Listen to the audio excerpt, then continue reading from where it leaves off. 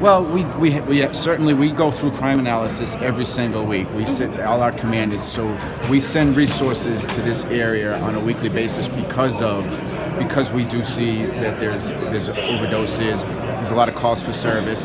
So it, it, once again, it only made sense for us to be here 24/7 to to uh, to clean up those problems. That's the philosophy. Our, our neighborhood response team. That's what we do. We put them in the neighborhood. We want to make sure that these old, uh, you know, systemic problems are taken care of, and that's what we're doing here. Probably the most important tool that the men and women of the Worcester Police Department have more important than the vehicles, more important than any equipment they may carry. The most important tool is their relationship with this community. Um, and I would tell you that I think the relationship with the Worcester Police Department and the people of the city of Worcester is second to none.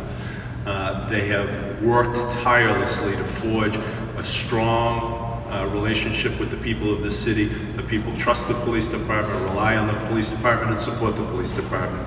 And so that's the biggest tool that they have to do their job every day, that relationship.